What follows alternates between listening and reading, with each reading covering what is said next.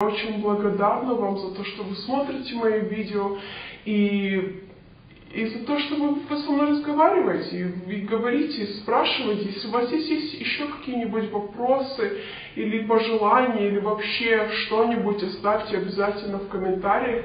Я их всех читаю, у меня не всегда есть время на все отвечать, к сожалению, но я все всегда читаю, я все, все комментарии вижу. Даже на моих старых видео я все комментарии вижу. Так, давайте перейдем к пару вопросов. Лора спрашивает, хочешь вернуться в Россию? Так как я сказала, я вообще-то с Молдовы, я прожила а, большинство своей жизни в Молдове, мой город это мой город Кишинев.